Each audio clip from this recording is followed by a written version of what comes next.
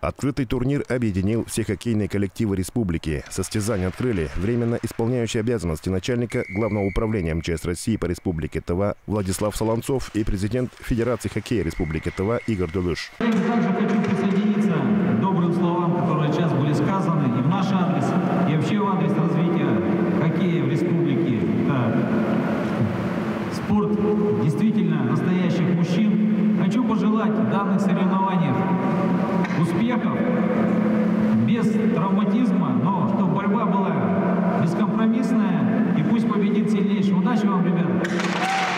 Игры проходили по круговой системе, где каждая команда встретилась в поединке со всеми коллективами. Таким образом, за три дня на ледовом поле сыграли 20 матчей. Пришли поболеть за свою любимую команду, за своих коллег.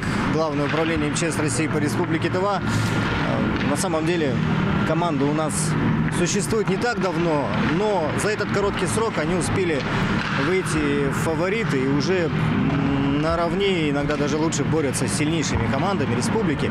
А сегодня э, проходит Кубок Главного управления МЧС России по Республике Тыва. И действительно, по результатам всех встреч сборная Главного управления не проиграла ни одну игру. За все матчи команда МЧС пропустили всего три шайбы, и хоккеисты забили в ворота соперников 20 шайб. Так, лидерами соревнований стала сборная Главного управления, оставив кубок у себя. Серебро взяли хозяева льда, команда Субэдэй. На третьем месте команда Ирбис. РС Мангуш, Буян Мангуш, Самдан Иргит, телеканал Туа-24.